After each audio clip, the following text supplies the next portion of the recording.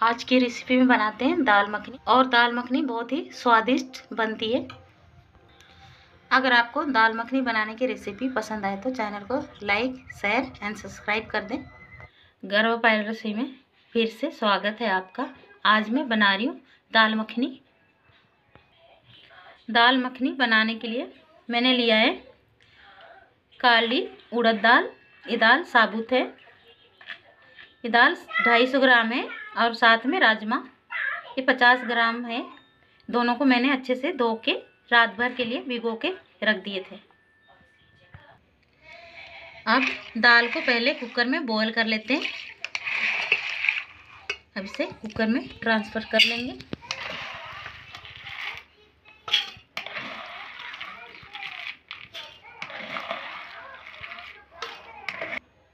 दाल को मैंने कुकर में डाल दिया है।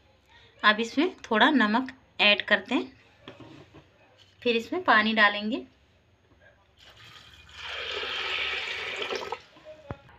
मैंने दाल में पानी डाल दिया है और पानी दाल से दो इंच ऊपर होना चाहिए। अब इस पर ढक्कन लगा के बॉईल करते हैं। मैंने गैस पे कुकर को रख दिया है। एक सीटी आने तक गैस का फ्लेम को फुल रखेंगे। बाद में गैस का फ्लेम को मीडियम कर देंगे और पाँच सीटी आने तक वेट करेंगे। एक सीटी आ गई है, अब गैस का फ्लेम को मीडियम कर देंगे। इस दाल को गलाने में थोड़ा टाइम लगता है। उससे नॉर्मली हम घर में दाल बनाते हैं, उसमें टाइम नहीं लगता। वो जल्दी बन के तैयार हो जाती है। मैंने टोटल छः सीटी लगा लिया है।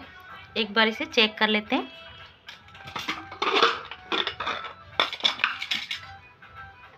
हमारी दाल तो अच्छे से गल चुकी है, लेकिन अभी तैयार हुई नहीं अभी।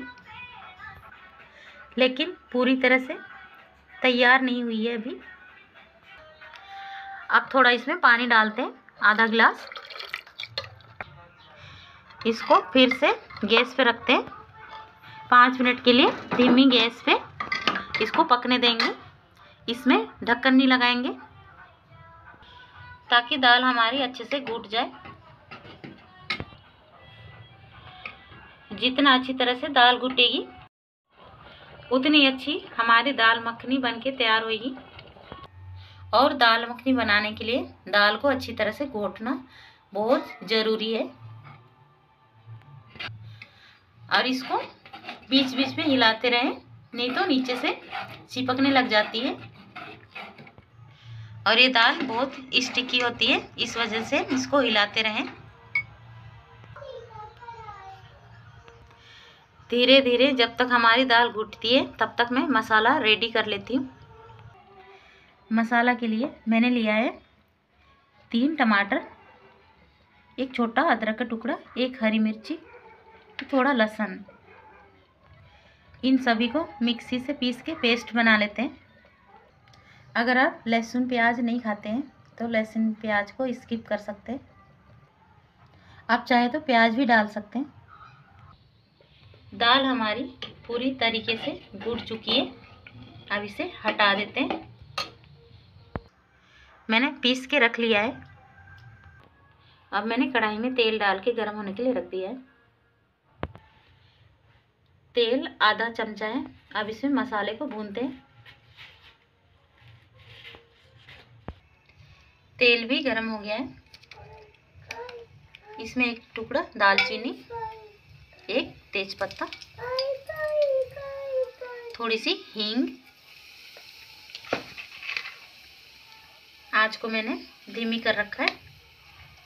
एक चम्मच कश्मीरी लाल मिर्ची।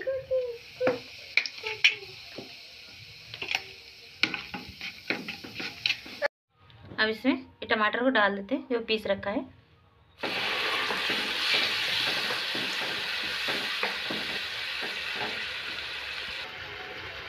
इसको अच्छे से भून लेते हैं। इसमें एक हरी मिर्ची हरी मिर्ची को मैंने लंबे लंबे काट रखे हैं। इसे भी डाल देते हैं।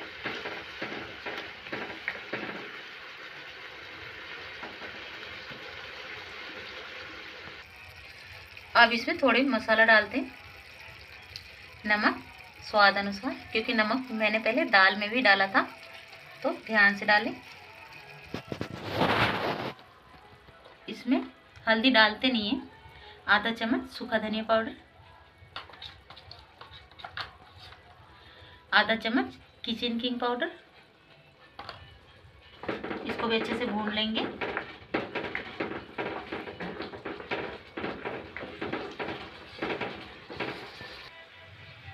मसाला हमारा भून चुका है और कलर भी अच्छा आया है। कलर देगी मिर्च की वजह से। आया है अच्छा। अब इसमें दाल को डाल देते हैं।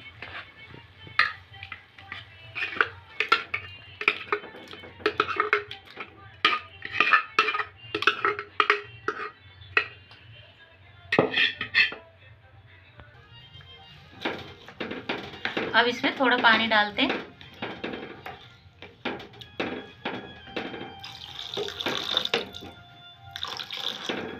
और इसको अच्छे से बॉईल कर लेते हैं।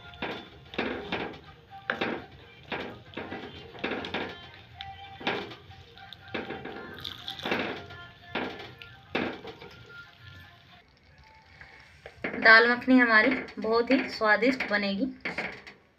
इसमें थोड़ा सा दूध ऐड कर देते हैं। आधा गिलास के आसपास।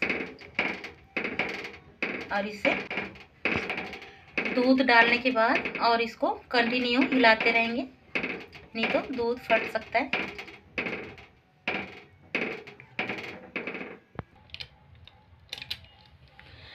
अब इसे थोड़ा बटर डाल देते हैं, क्योंकि दाल मखनी, मक्खन के बिना अधूरी है। और बटर के बगैर दाल मखनी अधूरी होती है, इसलिए इसमें बटर डालेंगे। आपकी इच्छा अनुसार डाल सकते हैं बटर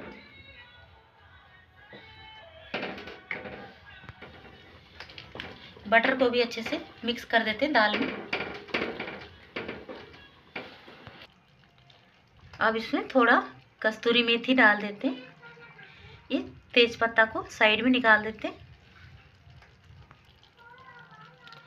इससे दाल मखनी में फ्लेवर बहुत अच्छा आएगा, कस्तूरी मेथी से।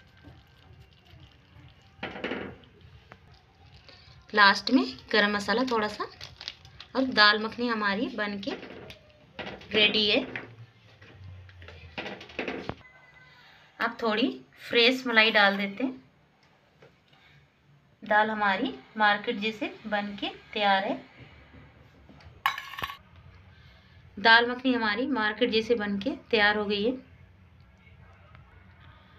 आप गर्मा गर्म दाल मखनी, राइस या फिर पराठे या फिर नान के साथ सर्व कर सकते हैं।